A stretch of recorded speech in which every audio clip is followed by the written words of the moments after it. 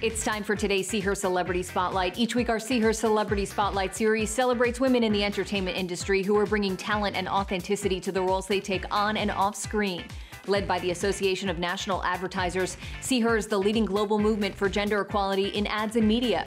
If you can see her, you can be her. Well, this week we're shining the spotlight on the all female cast of Baroness von Sketch Show.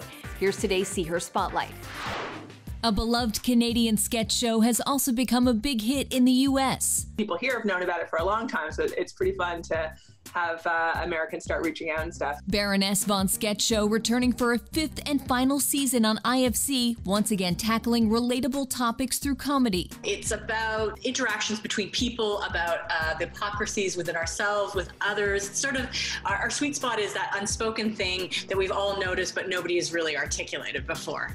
Do you have any idea why he would depict you both like this? You know what? I'm gonna Google it. I'm gonna message my sister about her psychologist friend. The show proving that comedy isn't just a boys' club. There's all different kinds of people, and when you see yourself on screen, um, you know, and we know that that there are other like women like us and people who like our our humor because we get people reaching out to us saying like, "Oh my God, that's me," and and so it's it you know if it makes them feel like they're not so crazy, makes us feel like oh good, you know, like we're all on the same page here. And for all of the little girls pursuing their dreams, Carolyn Taylor has some advice. Just know when you're not exactly at your goal just observe, gather what you can, share it with your other uh, girlfriends, and uh, hopefully make art with it in time. For more information, head to seeher.com or visit at seeher2020.